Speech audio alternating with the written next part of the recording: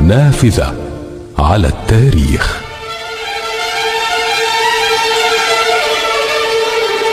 يكتبها يوسف عساف ويخرجها يوسف الحشاش.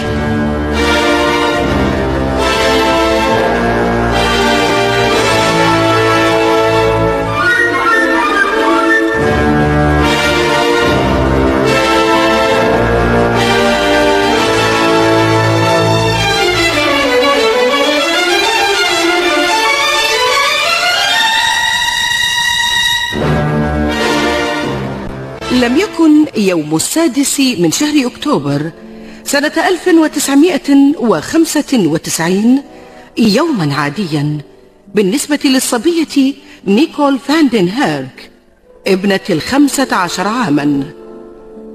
استيقظت صباح ذلك اليوم وهي تشعر بتوعك نتيجة قلة النوم لكن كان عليها أن تستعد للخروج في موعدها حتى لا تتأخر عن عملها في مخبز بلدة إنتهوفن الهولندية.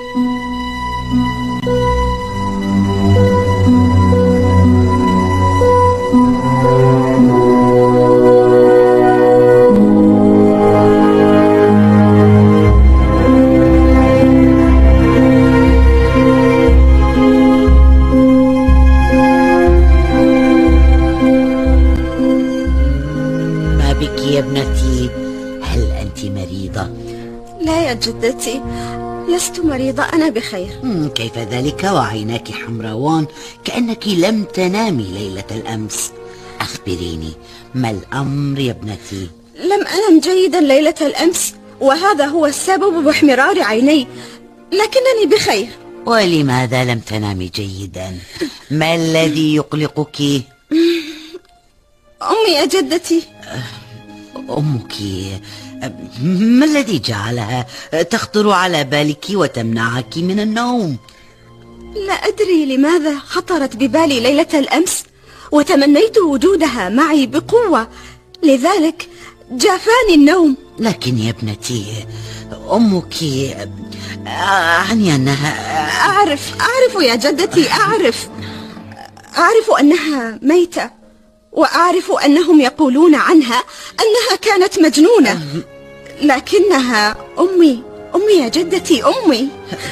اسمعي يا ابنتي سوف أتصل بمكان عملك وأخبرهم أنك مريضة ولن لا لا لا يا جدتي لا.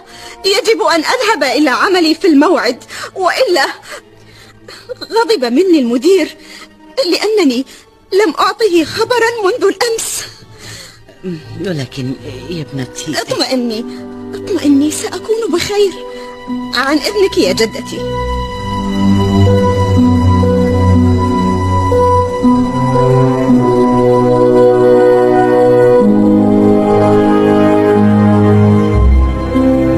ركبت نيكول دراجتها الهوائية في طريقها إلى مكان عملها والذي لا يبعد كثيرا عن بيت جدتها. والذي قدر لها ألا تصله أبدا. استغرب مديرها في المخبز عدم وصولها في الوقت المحدد على غير عادتها. وعندما استفسر من زملائها في العمل إن كانوا يعرفون سبب تأخرها أجابوا بالنفي.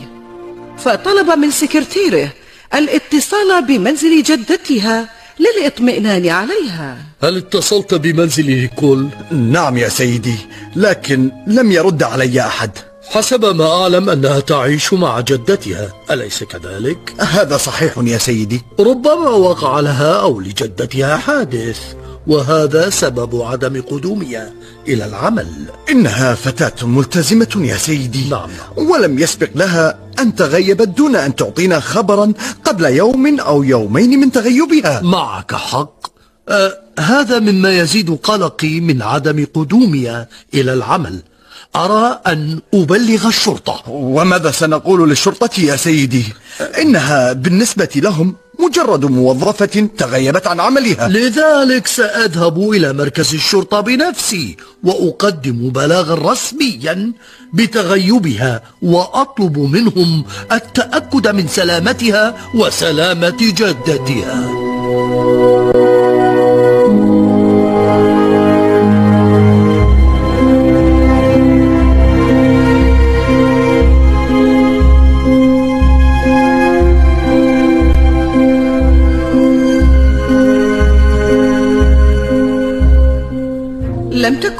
ردة فعل الشرطة مفاجئة لها إذ قالوا أن الأمر لا يستحق تسجيل تغيب بحقها لأنها ربما تكون قد التقت بإحدى صديقاتها وأرادت أن تمضي معها بعض الوقت.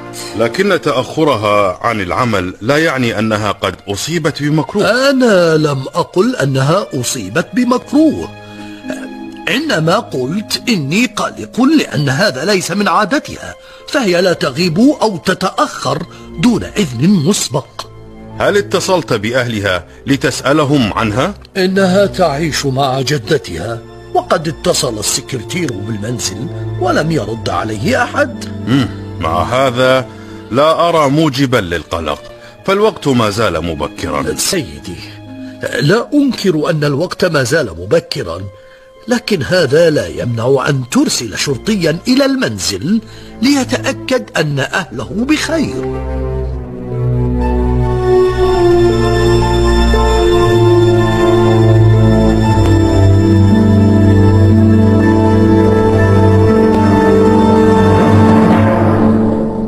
لم يجد الضابط مفرا من إلحاح مدير المخبز سوى الموافقة على إرسال دورية شرطة إلى منزل الجدة للإطمئنان على من فيه. كان الوقت قبل الظهر بقليل عندما وصلت دورية الشرطة إلى منزل الجدة. انتظر سأفتح الباب. آه يا إلهي من يطرق الباب؟ ها؟ آه ما الأمر أيها الشرطي؟ هل أنت جدة الصبية نيكول هيرك؟ آه نعم أنا جدتها. لماذا تسأل؟ هل هي موجودة؟ لا إنها في عملها يا سيدي. لماذا تسأل؟ أين تعمل؟ لقد أقلقتني أيها الشرطي. لما كل هذه الأسئلة؟ تعال أدخل إلى هنا حتى أعرف ما القصة. لماذا تسأل عن حفيدتي؟ ماذا حدث لها؟ لا نعلم إن كان قد حدث لها أي شيء. كل ما في الأمر أن صاحب عملها جاء يخبرنا عن عدم حضورها ها؟ ما عدم حضورها إلى أين يا سيدي؟ إلى مكان عملها فهي لم تصل إلى المخبز هذا اليوم. آه. وقد شك في أنها مريضة وأراد أن يطمئن عليها. لا, لا, لا يا سيدي لا. لقد استيقظت متوعكة لكنها رفضت البقاء في المنزل وذهبت إلى عملها حسب عادتها كل يوم. لكنها لم تصل يا سيدتي. هذا فهل أخبرتك أنها قد تذهب إلى مكان ما لتقابل إحدى صديقاتها مثلا؟ لا لا لا لا لا. لم تخبرني أنها ستذهب إلى أي مكان. آه و- و- و- وأنها ستقابل أي أحد. آه، السيد الشرطي أين حفيدتي؟ ماذا جرى لها؟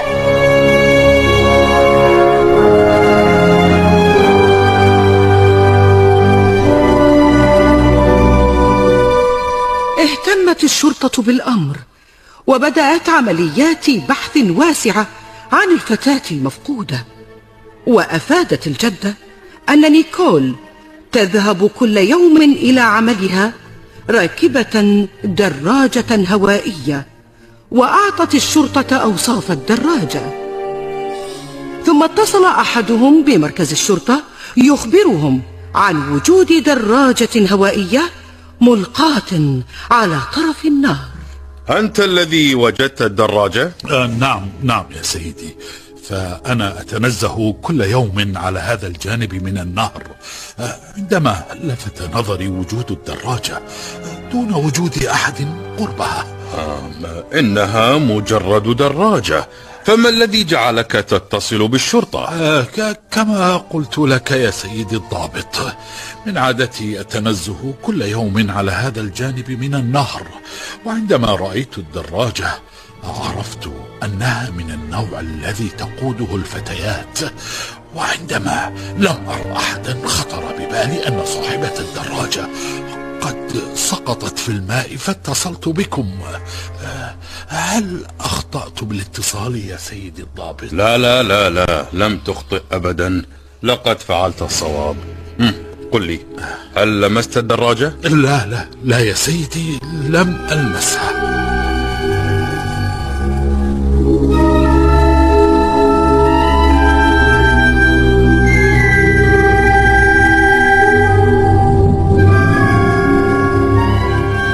تحفظت الشرطة على الدراجة الهوائية ونقلتها إلى الطب الجنائي لرفع البصمات عنها بعد أن تعرفت عليها الجدة وأكدت أنها دراجة حفيدتها. وفي اليوم التالي لاختفائها وصل أبوها بعد أن اتصلت به أمه وأخبرته باختفاء ابنته. من أنت يا سيدي؟ أنا والد نيكول واسمي إيدي. آه تفضل تفضل بالجلوس يا سيدي. لم آتي للجلوس يا سيدي رئيس الشرطة. إنما جئت لأعرف ما جرى لابنتي. ما زلنا نبحث عنها يا سيدي لكنك قد تساعدنا بإعطائنا بعض المعلومات والتي قد تساعدنا في البحث عنها. والعثور عليها. معلومات مثل ماذا يا سيدي؟ المعلومات التي يعرفها كل أب عن أولاده عن عاداتها اليومية أصدقائها التي تقضي أوقاتها معهم. أي معلومات قد تفيد يا سيدي. آه، في الحقيقة أنا لا أعرف الكثير عن عاداتها وأصدقائها. ما أعرفه أنها صبية مؤدبة وملتزمة وأنها تذهب في الصباح إلى المدرسة وتعمل في المخبز بعد الظهر لتعمل على تأمين مصروفها وتوفير نفقات دراستها الجامعية بعد أن تنهي دراستها الثانوية. كيف تقضي أوقاتها وماذا عن علاقتها بأصدقائها؟ سيدي قلت لك إنها تذهب في الصباح إلى مدرستها وتعمل في المخبز بعد الظهر. هل تعني أنها بلا أصدقاء وأنها تقضي وقتها بين المدرسة والمنزل والمخبز؟ في الحقيقة لست متأكدا من هذا لكنها تعيش مع جدتها التي تعرف عنها كل شيء. تعني أنك لا تعيش معها ومع جدتها؟ سيدي أنا وزوجتي نعمل في فرقة موسيقية لذلك نحن دائم التنقل ولا نقيم في مكان واحد مدة طويلة. لذلك أتركها تعيش مع والدتي وابني. هل تعني أن لك ابنا آخر؟ نعم لدي ابن من زواج سابق. كان عمره خمس سنوات عندما تزوجت والدة نيكول. تعني أن نيكول ليست ابنتك.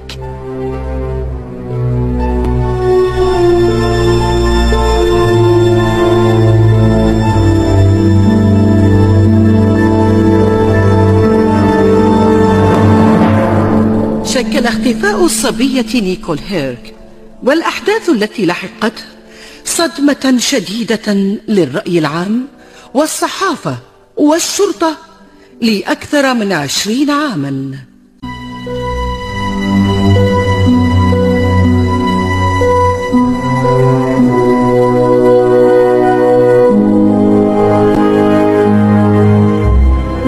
كانت والدة نيكول ألمانية التقت بالسيد إيدي هيرك الذي كان يزور بلدتها مع فرقته الموسيقية حيث تحابا وتزوجا عندما كانت الطفلة نيكول بعمر ثمان سنوات. انتقلت الأم وابنتها للعيش معه في بلدته أندهوفن في هولندا حيث تبنى الطفل وأعطاها اسمه لكن زواجه لم يدم طويلا. لم أعد أطيق العيش مع أنجليكا. واتفقت معها على الطلاق. يا ولدي وما الذي ستفعله المسكينة لو أنك قمت بتطليقها؟ آه، إلى أين ستذهب؟ هذا شأنها. أه، سترجع إلى بلدها ألمانيا أو أه، تجد عملا وتبقى هنا. الأمر يرجع إليها. لكن لماذا تنوي طلاقها؟ لأنها تغيرت كثيرا ولم تعد كما كانت في بداية زواجنا. ظهر لي أنها امرأة متسلطة وذات مزاج متقلب. فهي كل يوم في حال مختلف. ربما كانت مريضة يا ولدي. خذها إلى الطبيب ولا تظلمها. لقد انتهى الأمر يا أمة وقمت بتقديم طلب الطلاق إلى المحكمة. يا إلهي وماذا ماذا عن نيكول؟ ماذا سيحل بها؟ ستبقى معي لأنني سأطالب بحضانتها والوصاية عليها وهل ستوافق المحكمة على منحك الوصاية؟ نعم لقد اتفقنا على ذلك مع المحامي وقد تنازلت أمها بالفعل عن وصايتها عليها لصالحي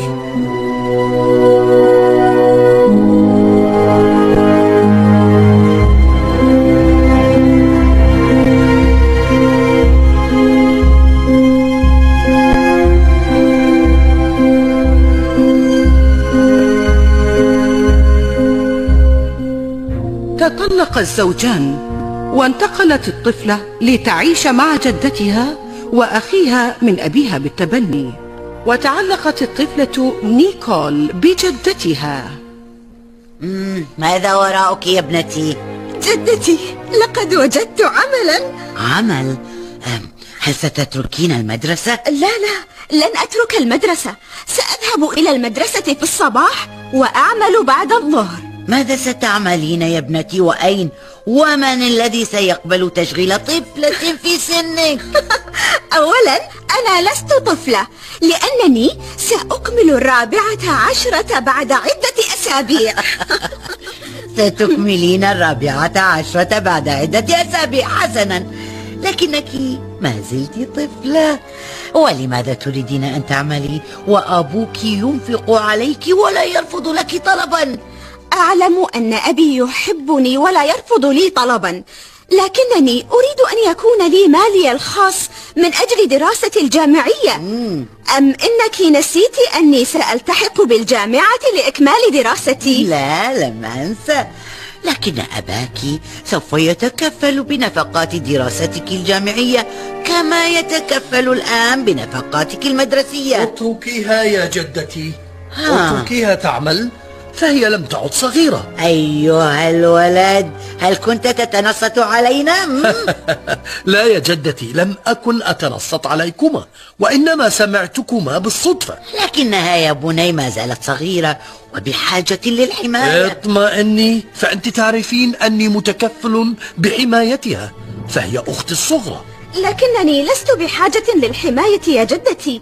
فالمكان ليس بعيدا من هنا. وأين أين هو هذا المكان الذي ليس بعيدا من هنا؟ إنه المخبز التابع لمتجر السيد وينسلو. آه سيد وينسلو. إني أعرفه. إنه رجل طيب. وهذا الرجل الطيب منحني عملا في مخبزه بعد الظهر. أي أنني سأذهب إلى المدرسة في الصباح وإلى المخبز بعد الظهر. ها هل رضيتي؟ أم نعم يا ابنتي ما دمت ستعملين مع السيد وانسلو فأنا موافقة.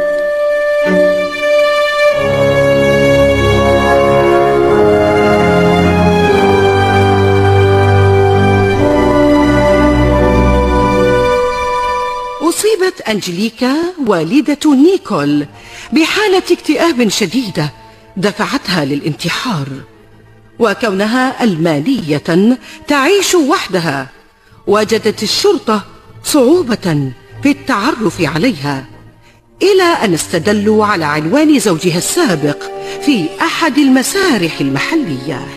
سيد إيدي يوجد شرطي يسأل عنك. ها؟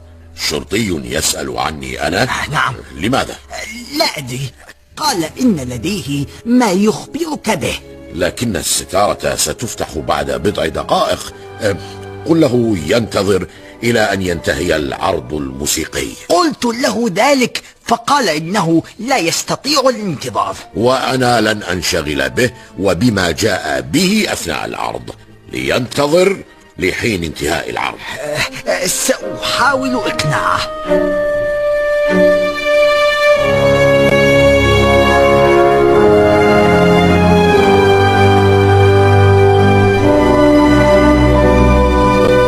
اتصل الشرطي بالضابط المسؤول في مركز الشرطة وأخبره بما قال الرجل.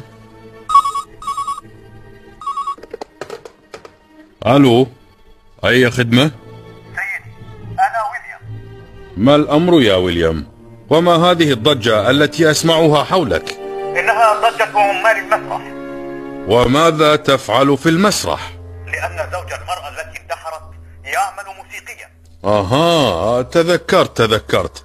وهل أخبرته بموت زوجته؟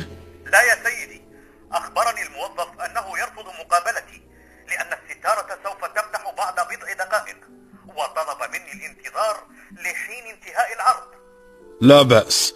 انتظر لحين انتهاء العرض. فالخبر مزعج على كل حال. آه، استمتع بمتابعة العرض الموسيقي يا ويليام. إلى اللقاء.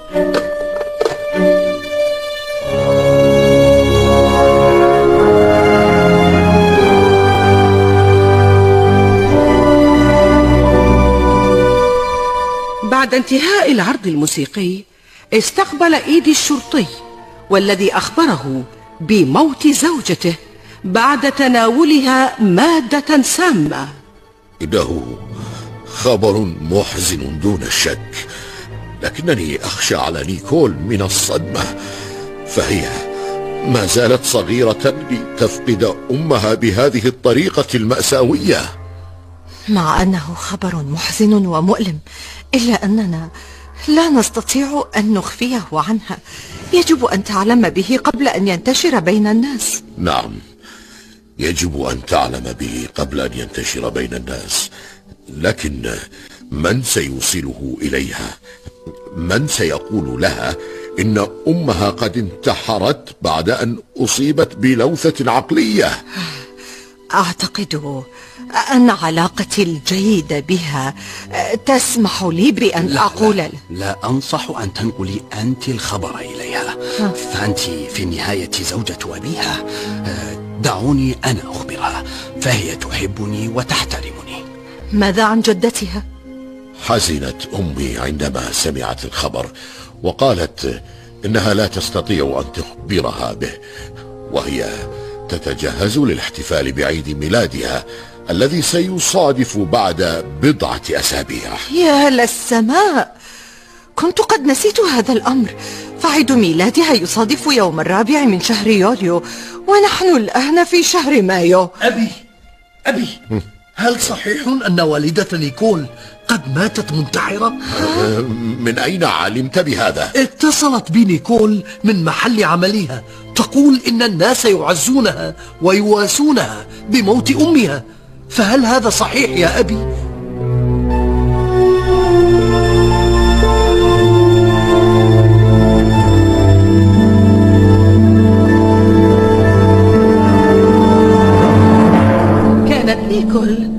محبوبة في محيطها لأدبها وابتسامتها الدائمة مما جعل الجميع يلتفون حولها ويواسونها ويشجعونها.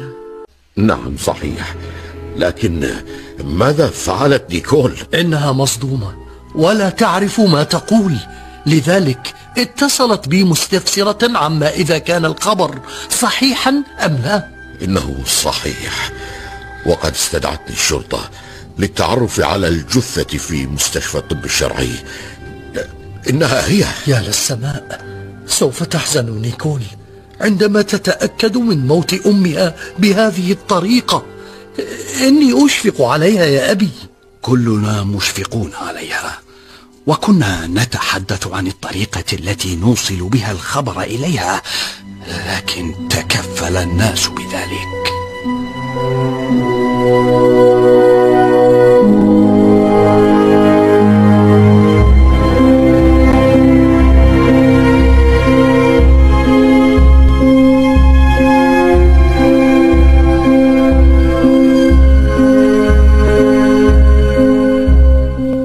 صدمت نيكول بخبر موت أمها وحزنت عليها حزنا شديدا لكنها تفاجأت بالتفاف الناس حولها ومواساتها وتشجيعها على تجاوز مأساة فقدان أمها.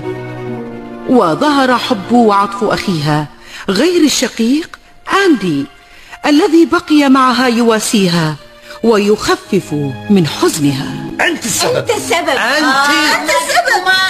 لما تتشاجران. حفيدتك الجميلة تقول إنها قد كبرت وتطلب مني عدم مرافقتها إلى عملها ماذا؟ و- ولماذا لا تريدين منه مرافقتك إلى عملك؟ لأنني لم أعد طفلة ولست بحاجة لحراسة أحد هل تسمعين هذا يا جدتي؟ إنها تسمي عطفي وخوفي عليها حراسة عطفك وحبك لا أرفضه فأنت أخي أما خوفك فلا داعي له لأننا نعيش في بلدة آمنة. لكنك لا تعرفين متى. اهدأ اهدأ يا بني اهدأ. أم إن أختك على حق. أجل يا بني عليها أن تعتمد على نفسها لأنها لن تكون معك دائما وأنت لن تكون برفقتها دائما. بل سأبقى. سأبقى معها إلى أن هل تتزوج. جننت؟ هل جننت؟ كيف سأفكر بالزواج قبل أن أنهي دراستي الجامعية؟ اهدأ يا بني ولا داعي لهذا الشجار. دعها دعها تذهب إلى عملها وحدها وتوقف عن إحراجها أمام زملائها. فما دمت ترافقها بحجة حمايتها فسوف يستمرون بالنظر إليها كطفلة صغيرة خائفة. اسمع كلام جدتك واتركني في حالي. وإياك أن تلاحقني بعد اليوم.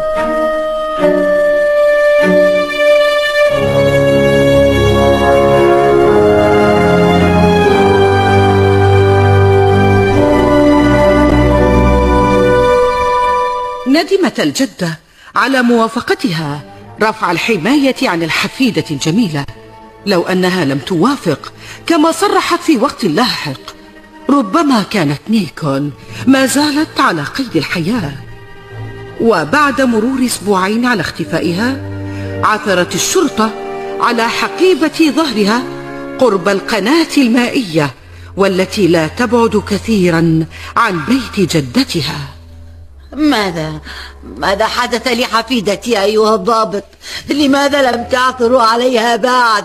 ما زلنا نبحث عنها يا سيدتي. لقد مضى على اختفائها أكثر من أسبوعين وتقول أنكم ما زلتم تبحثون عنها فإلى متى؟ ما دمتم لم تجدوها وما زلتم تبحثون عنها فلماذا أرسلتم إلينا؟ لقد وجدنا حقيبة الظهر هذه انظري.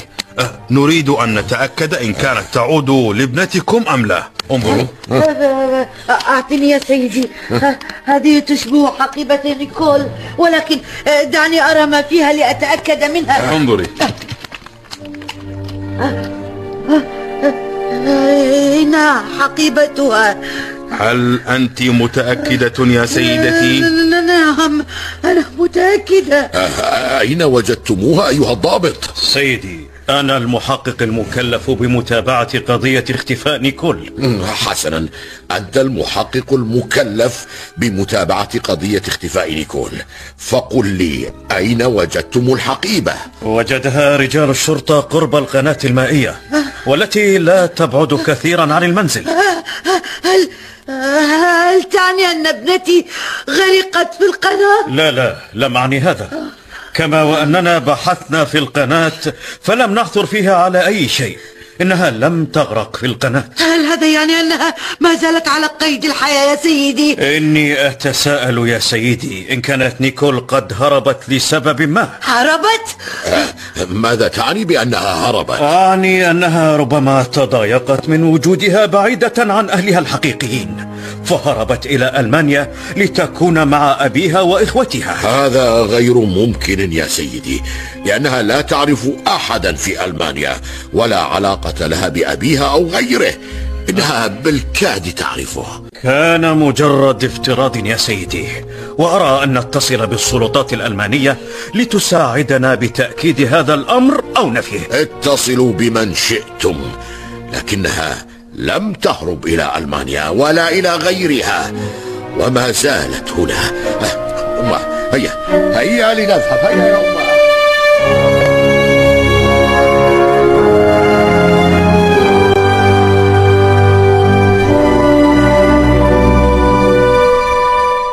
كان شعور الجدة مع ابنها أن الشرطة تتهرب من حقيقة الاعتراف بعجزها. في العثور على الفتاة المختفية بادعاءات لا أساس لها من الصحة وبعد مرور اثنين وعشرين يوما على اختفاء نيكول رن جرس الهاتف في مكتب رئيس مركز الشرطة ألو من المتصل؟ هل أنت رئيس مركز الشرطة؟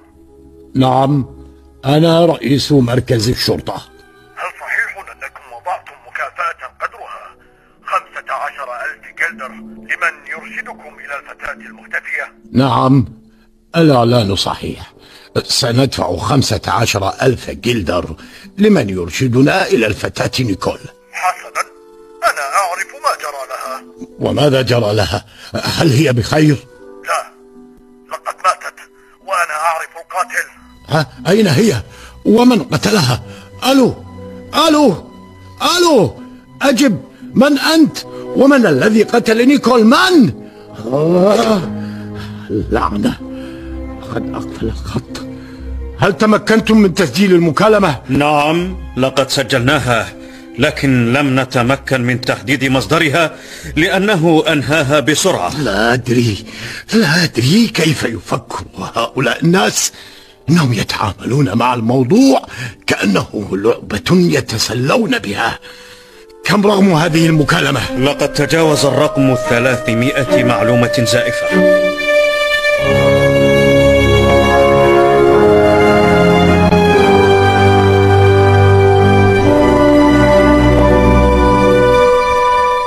كانت زوجة الأب رغم المدة القصيرة التي عاشتها مع العائلة قد أحبت الفتاة وتعلقت بها وعندما يئست من الشرطة ومحاولاتها الفاشلة في العثور على الفتاة المختفية لجأت إلى العرافين والعرافات لمساعدتها في العثور على نيكول هل جننت؟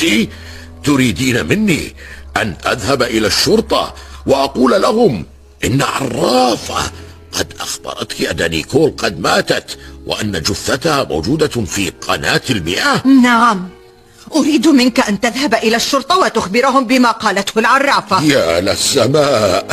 كأنك نسيت أننا على وشك دخول القرن الحادي والعشرين وأنت ما زلت تؤمنين بهذه الخرافات. لم أنسى لم أنسى لكن الشرطة فشلت حتى الآن في العثور على أثر لها.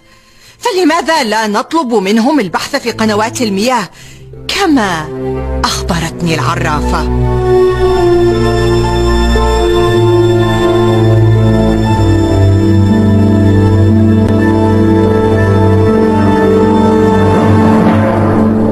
هل ستتمكن الشرطة من العثور على جثة الفتاة المختفية في قناة المياه؟ كما تنبأت العرافة؟ نعم لماذا لا تذهب وتخبرهم ليبحثوا في قنوات المياه كما قالت العرافة؟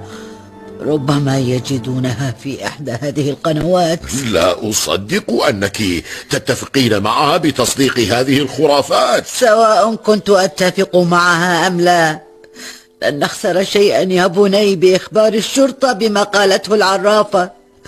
واتركهم هم يتخذون قرارهم بالتصديق من عدمه.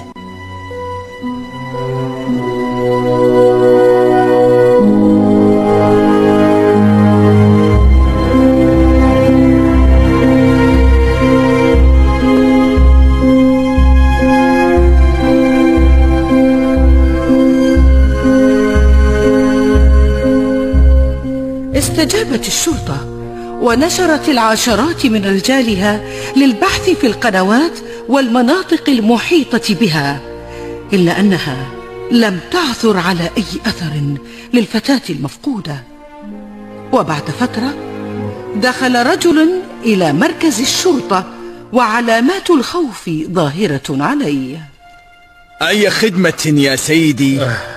هل هذا مركز الشرطة؟ ما بك؟ هل أنت بخير؟ آه نعم أنا بخير فقط أريد أن أتأكد هل هذا مركز الشرطة؟ نعم إنه مركز الشرطة ماذا تريد؟ آه ما دام أنه مركز الشرطة أريد أن أقابل المسؤول ولماذا تريد أن تقابل المسؤول؟ آه آه هل هل تحفظ السر إن أخبرتك؟ بالطبع فعملي هو حفظ أسرار الناس. قل لي ما هو السر الذي تريد أن تخبر المسؤول عنه؟ لقد رأيت جثة. رأيت جثة؟ أين؟ لقد لقد وعدتني بأن تحفظ السر. لقد وعدتك وأنا عند وعدي. أه. أين رأيت الجثة؟ لن, لن أخبرك. خذني إلى المسؤول. حسنا انتظرني هنا.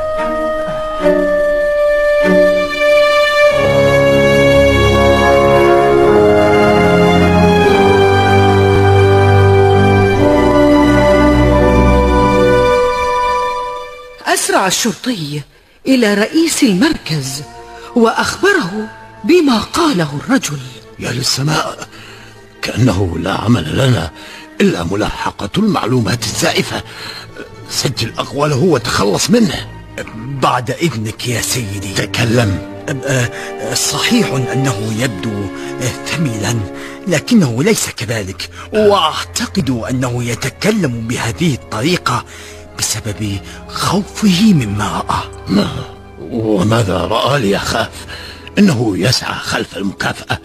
خذ أقواله وتخلص منه.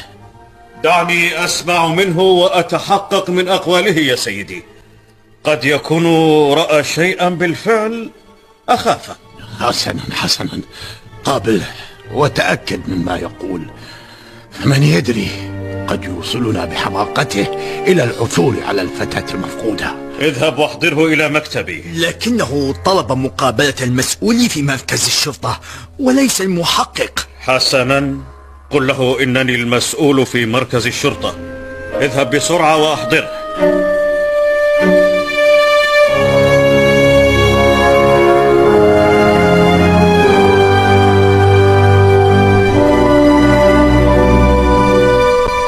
بخبرته عرف المحقق أن الرجل لم يكن يكذب إنما كان خائفا من شيء رآه. قلت إنك تريد مقابلة المسؤول لأنك رأيت جثة. نعم نعم يا سيدي لقد رأيتها. وأين رأيتها؟ على على طرف الغابة القريبة من قرية ميرلو. آه على طرف الغابة. مم. نعم. ربما كانت جيفة حيوان من حيوانات الغابة. أه؟ أخافتك فظننت أنها جثة إنسان. أليس كذلك؟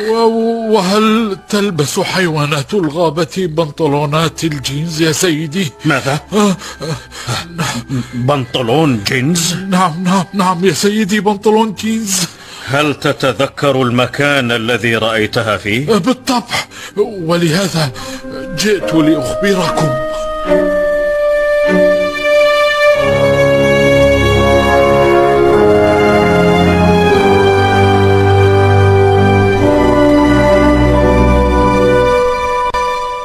أقامت الشرطة طوقا حول المنطقة وجاء الطبيب الشرعي لمعاينتها ماذا ترى أيها الطبيب؟ مبدئيا أقول إنها بقايا جثة لفتاة صغيرة في السن تعرضت لاعتداء عنيف نتج عنه عدة كسور في الفك والكفين وطرف الجمجمة مع طعنات في جانبها الأيسر تسببت بكسر أكثر من ضلع هل هي جثة الفتاة المفقودة؟ آه لا أستطيع أن أجزم بشيء قبل إجراء التشريح في المستشفى.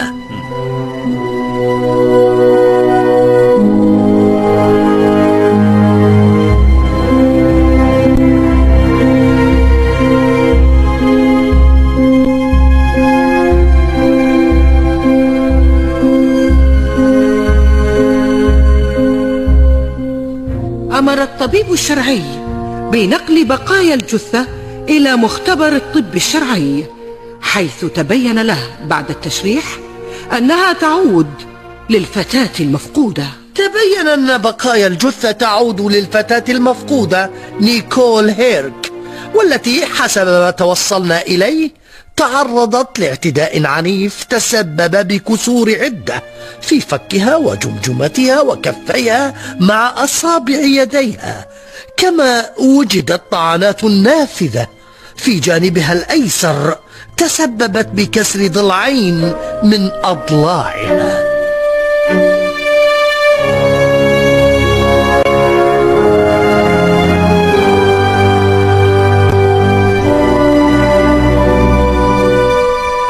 كانت الفتاة كما سبق وقلنا محبوبة من أهالي البلدة الذين أصيبوا بصدمة عندما انتشر خبر موتها بهذه الطريقة البشعة.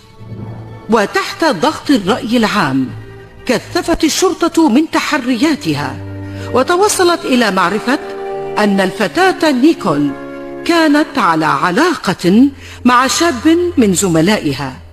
فتم العثور عليه واستدعاؤه إلى التحقيق قل لي هل كنت على خلاف مع نيكول؟ لا لم أكن على خلاف معها كنت أحبها وتحبني واتفقنا على الزواج بعد أن ننهي دراستنا متى رأيتها آخر مرة؟ آه، قبل موتها بيومين آه، سافرت لقضاء بضعة أيام مع خالتي في مدينة أخرى وعدت عندما سمعت بنبأ اختفائها مم. ألم ترها بعد يوم السادس من شهر أكتوبر؟ اليوم الذي اختفت فيه؟ لا لم أرها. قبضت الشرطة على امرأة تحمل حقيبة ممنوعات حيث تم تحويلها إلى التحقيق. لقد اعترفت أن الحقيبة لك لكن ما فيها ليس لك. نعم الحقيبة لي لكن ما فيها ليس لي. هذا لغز يحتاج إلى حل. كيف تكون الحقيبة لك وما فيها ليس لك؟ ما في الحقيبة ليس لي لأني أجبرت على حمله تحت التهديد. ومن الذي هددك وأجبرك على حمل الممنوعات وتهريبها؟ الرجل الذي قتل نيكول هيرك هو من هددني. وما علاقتك بها؟ كانت صديقتي. مم. وما علاقة نيكول بتهريب الممنوعات. لا أدري. لا أدري إن كانت تقوم بتهريب الممنوعات أم لا. لكنني أعمل مع نفس الرجل الذي ادعى أنه قتلها. وكيف عرفت أنه قتلها؟ قام باختطافي وسجني في مكان لا أعرفه. مم. وبعد عدة أيام طلب مني أن أقوم بتوصيل الممنوعات لحسابه. وكيف أجبرك على القيام بهذا العمل؟ رفضت في البداية لكنه هددني. إن لم أفعل ما يأمرني به فسوف ألحق بصديقتي نيكول. هل قال لك صراحة أنه قد قتلها؟ لا. لكنه قال إنه سيلحقني بها إن لم أستجب له وأعمل لمصلحته.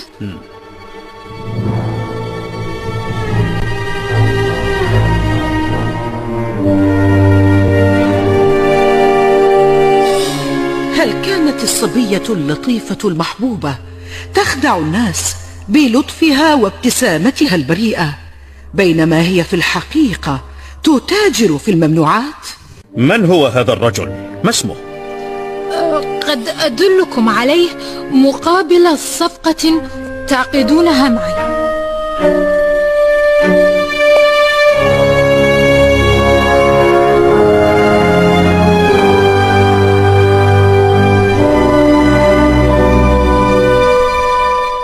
لم يتعجل المحقق بالقبول أو الرفض ورأى أن يراجع رؤساءه فيما قالته المرأة.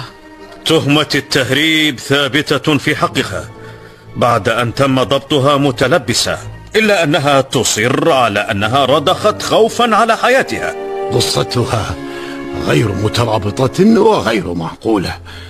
لكن هذا لا يمنع من التحقق إن كانت صادقة أم لا. لكنها لن تدلنا على الرجل إلا بعد عقد صفقة. آه إنها تساوم لتكسب الوقت. على أمل الحصول على حكم مخفف عند مثولها أمام القاضي.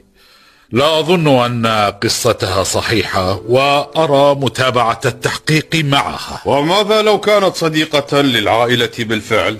حسنا حسنا. قبل اتخاذ قرار بشأنها ليتم استدعاء والد نيكول للتعرف على المرأة.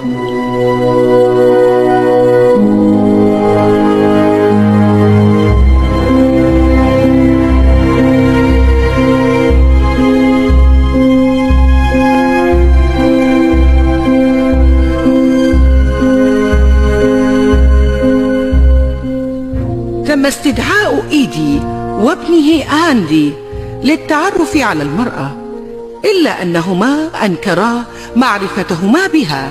لا أعرفها يا سيدي لم أرها من قبل. وأنا أيضا لا أعرفها لم أرها مع أختي أبدا. وهل تعرف جميع صديقات أختك؟ نعم أعرفهن جميعا كما وأعرف زملائها في المدرسة. وفي العمل لم تكن تخفي عني شيئا. ربما كانت الجدة تعرفها. لقد ماتت الجدة يا سيدي. أعتذر يا سيدي لم أكن أعلم. ماتت من شدة حزنها على حفيدتها والطريقة البشعة التي ماتت بها وفشل الشرطة في العثور على قاتلها. لا تحملنا أي ذنب أيها الشاب.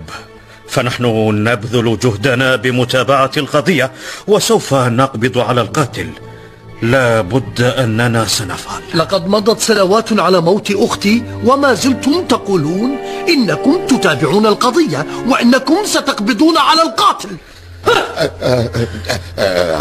سيدي أعتذر نيابة عنه إنه حزين ومكتئب لأنه يفتقد نيكول كان متعلقا بها ويحبها بقوة.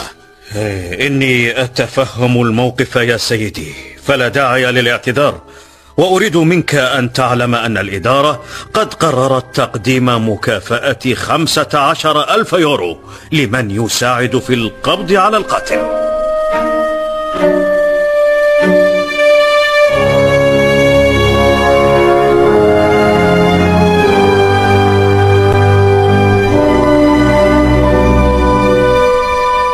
سيطر الحزن على العائلة فماتت الجدة من شدة حزنها. على موت حفيدتها. وانفصل إيدي عن زوجته وسافر إلى أسبانيا هربا من جو الكآبة الذي كان يسيطر على الجميع. كان أندي أكثرهم حزنا فدخل في حالة اكتئاب شديدة. أندي ليست هذه هي الطريقة التي تنسى بها حزنك على أختك. إنك تقتل نفسك. ومن قال لك إني أقدر على نسيانها مع أنها ليست أختي من أمي وأبي إلا أنها كانت تعتبرني أبا وأخا كانت أختي الصغرى. نعم نعم كانت أختك الصغرى وأنا أعرف كم كنت تحبها وكم كانت تحبك. آه. اسمع لي صديقة في لندن اسمها سارة. وقد أخبرتها عن معاناتك فعرضت أن تستقبلك لتقيم معها بعض الوقت ما رأيك؟ أقيم معها في لندن؟ نعم تقيم معها في لندن إنها فتاة طيبة وسوف تعتني بك وإن أعجبك الحال ستجد لك عملا وتقضي بقية عمرك هناك ما رأيك؟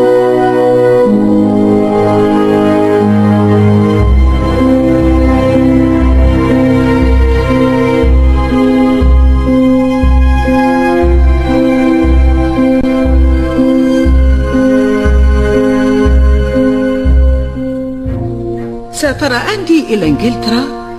عله يخرج من حالة الاكتئاب التي كان يعيشها.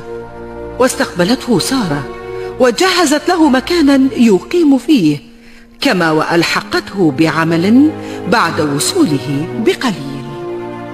مع عدم وجود أدلة جديدة توقف التحقيق في قضية نيكول هيرك وتحولت في سنة 2011 إلى ما يطلق عليه قضية باردة ما بك؟ هل جاءتك أخبار من هولندا؟ لقد أوقفت الشرطة البحث في قضية نيكول هم، بحجة عدم الحصول على أدلة جديدة لقد مضى وقت طويل ورجال الشرطة الذين عاصروا القضية لابد وأنهم قد تقاعدوا أو ماتوا أنت لا تعرفين ما الذي فعله بنا موت نيكول. كنا عائلة سعيدة إلى أن حدث ما حدث ماتت جدتي من شدة الحزن. وطلق أبي زوجته وهاجر إلى إسبانيا وأنا هنا في بلد غريب. لكنك لم تعد غريبا فأنت تعيش هنا منذ سنة 2004 سأبقى غريبا إلى أن يقبض على قاتل أختي ويدخل السجن. لن أهدأ حتى يتحقق هذا الوعد. كيف ستفعل ذلك بعد أن أغلقت القضية؟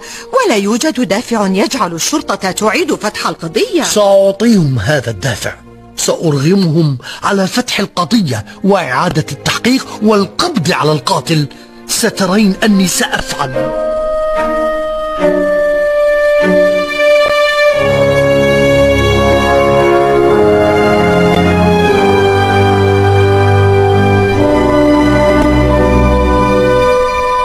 في الثامن من شهر مارس سنة 2011 قال في منشور على صفحته في أحد مواقع التواصل الاجتماعي سوف يتم اعتقالي اليوم بسبب مقتل أختي.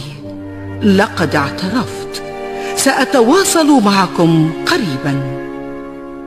وخلال ساعات تم تداول المنشور آلاف المرات مما أصاب دوائر التحقيق في البلدين بالذهول. قبض عليه وتم تسفيره إلى هولندا للتحقيق معه. نشرت اعترافا بأنك قتلت أختك. فهل قتلتها؟ أنا لم أقل في المنشور بأنني قتلت أختي وإنما قلت سوف يتم اعتقالي اليوم بسبب مقتل أختي. لقد اعترفت هذا ما نشرته ماذا يعني هذا؟ هذا يعني أنه لا يوجد لديكم دليل على أني القاتل سوى المنشور وأنت تعلم أن المحكمة لن تقبل به كدليل. حسنا. لا يوجد دليل على أنك القاتل. لذا فأنت حر في الذهاب. لكنني سأتابع النشر إلى أن توافقوا على فتح قبرها. والحصول على أدلة الحمض النووي العالقة برفاتها. لن أتوقف ومعي آلاف المتابعين لحين ظهور الحقيقة ومعرفة القاتل.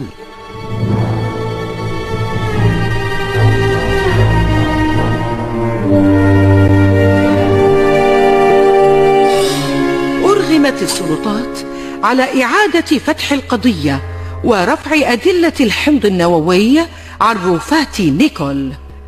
استغرقت عملية رفع الحمض النووي من رفات نيكول وتحليلها في المختبرات عدة سنوات إلى أن تطابقت العينة مع مشتبه به قبض عليه في قضية اعتداء سنة 2001 لقد نجحت خطتك يا أندي وتم القبض على القاتل وصدر عليه الحكم بالسجن. اثني عشر عاما. كنت أتمنى لو حكمت عليه المحكمة بالإعدام فهو قتل أختي دون ذنب ودمر عائلتي وشردها. لقد حركته الجريئة ومخاطرته بحياته لتحقيق العدالة لأخته المغدورة. لاقى ذلك تقديرا وترحيبا من آلاف المتابعين على صفحات التواصل الاجتماعي. وكذلك من صحافة بلاده.